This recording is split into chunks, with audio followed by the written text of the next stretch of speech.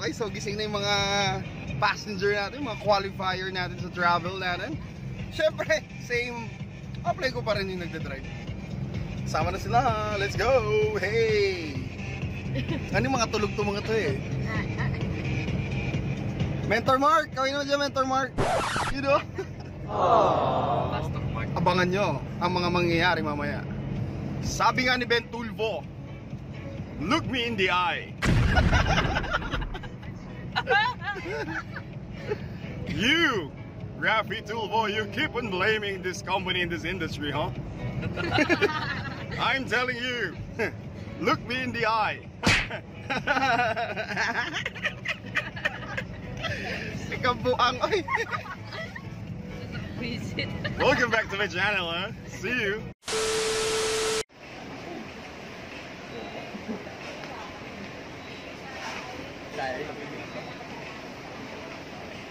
Isa lang, isa lang. Dali na, TikTok ka.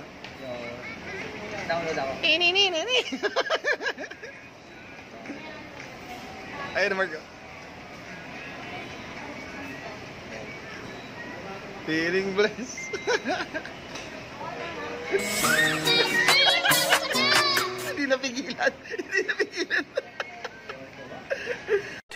2,000 years later. You know, ha, guys, we're touchdown. Nandito na po kami.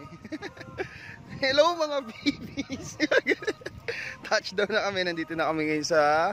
Actually, we, we've changed venue. Uh, mayroon kasing malaking event doon sa original venue which is yung iCove. So, nandito kami ngayon sa Grand Cusina. Tama ba? Grand Cusina and we have a very wonderful view from here. You know,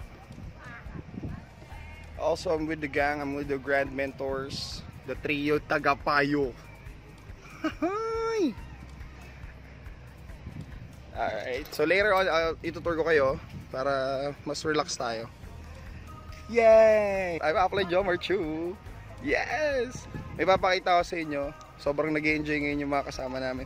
Yung mga qualifiers. Ang init lang daw.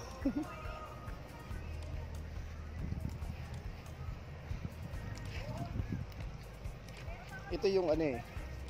Ito yung sinasabi namin na if you do the job, if you do the business perfect, if you do the business the way it should be done, you'll be rewarded talaga. eh. Maraming nangyayari.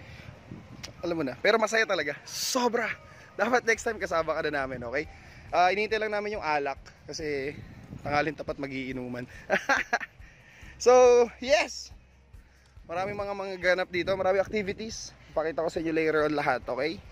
Power!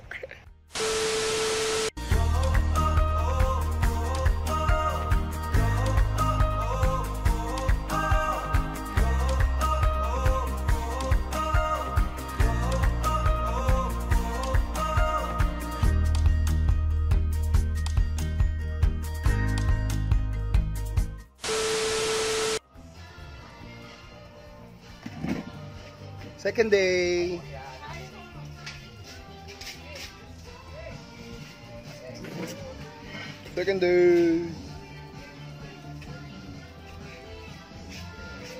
Woohoo.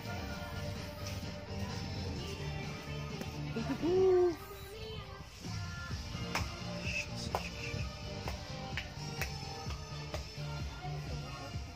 Iba.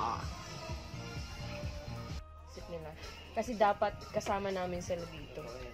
Hindi lang dapat sa ano, sa hindi lang gusto namin i-break yung focus nila ngayon. So yun, yun yung gusto naming ilatag pag uwi namin. Monday to Friday, gagalaw kami since pare-pare kami may work. Even 2-3 hours, depende kung ilang oras. It depends or regardless kung ilang oras namin gagawin. Basta quality, we actually uh, commit na dapat minimum 5 lang. 5, as in 5 OPP, hindi yung true chat lang, as in quality. Talagang. Apo, ganun. Max 5, minimum 5, maximum 10. And then once a week, meron kami grouping. So nga, let's say, punta kami Robinson, dun kami sa food court.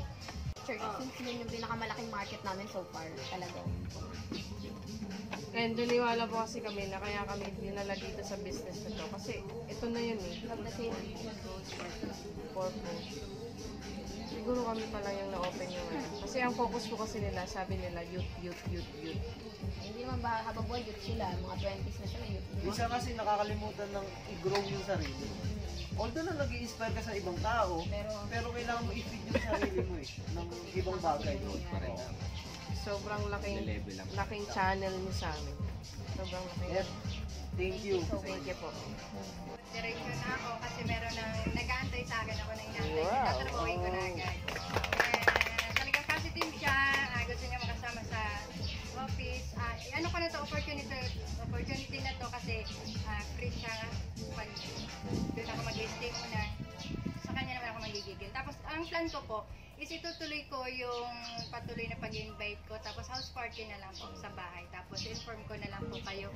Ah, one week or 10 days break Bala ko din, ano, ang pinaka-goal ko po kasi is magdala po ng qualifiers sa HASE. Tsaka sa, saan ba yun ah? Sa creation. Tapos yun. Sa ah, lahat ng goal kailangan matupad yun. Sama naman, ma ma madagdagan yung grupo ko. Yes. Ito ang pag-asa ko eh. Mm, amen. Di ba, Lalo? Tama yan. At saka yun, excited din ako sa mga natutunan ko gabi. Sumulong